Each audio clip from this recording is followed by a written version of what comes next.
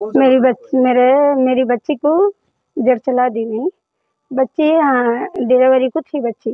हाँ ससुराल में बच्चे का इंतकाल हो गया। इंतकाल होने के बाद में मैं बच्ची को घर को ला। ली ला लेने करने चालीस दिन होने के बाद में सास आके बाद में लेके जाते बोले तो ला ली। ला लेने के बाद में दामद नहीं आए। अब भी आए। बीवी से मिलते बोल को आए। मिलती बोल को आते हद से बोलते हद से चीज़ से थे मेरे को नहीं मालूम है सब?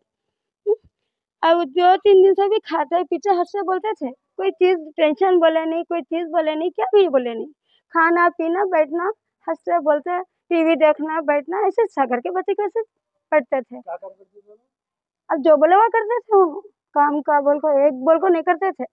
आज ये कल वो पैसा भी करते थे। हाँ, जरचले में रहते थे। हफ़्ते के दिन आए मेरे पास। तो में क्या हुआ? सुबह में कुछ नहीं हुआ। रात में बैठे खाए करे, आके रूम में सो गए उन्होंने। सोने के बाद सुबह में भी खोले ज़रूरत को गए, फिर अंदर आके बैठे। अब न पका को हमारा नाश्ता करेंगे? नाश्ता देने का है, माँ बोल को वो पका रहे थे। तो मैं बोली, स्कूल को बच्चे जा रहे थे। जाते देखे तो कहाँ है? धूप मार रही मेरे कुल का हाथ रख के सो रहे थे।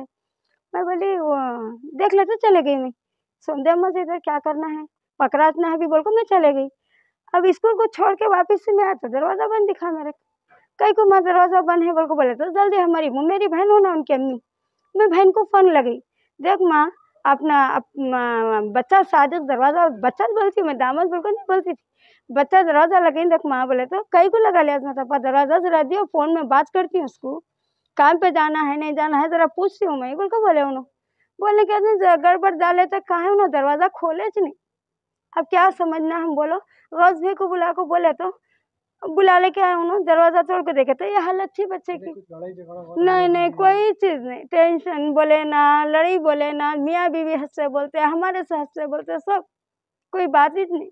अब सुबह में अचानक ऐसा हुआ बोलते थे हमें परेशान हो गए ऐसा कैसा करे बच्चा बोलो? पुलिस वाले आए थे? हाँ पुलिस वाले आए थे। मोहम्मद सादिक है? तीस साल के हैं।